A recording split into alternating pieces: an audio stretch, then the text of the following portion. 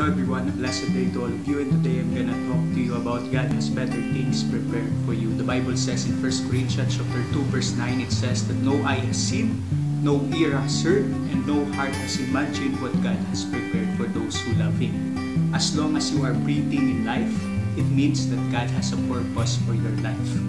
So keep moving forward, keep believing that the best is yet to come because God has a plan for your life and His plans are for your good. So the question is, are you living for God? Have you given your life to Jesus Christ? Because Jesus is the way, the truth, and the life. No one can come to the Father but by Him. God wants you to be saved. God wants you to have eternal life.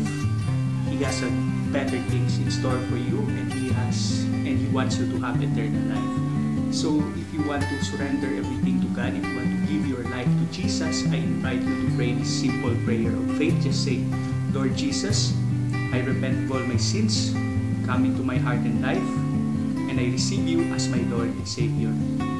So if you pray that prayer, I believe that you are now a child of God. Keep honoring God, keep reading your Bible, and I believe that the best is yet to come.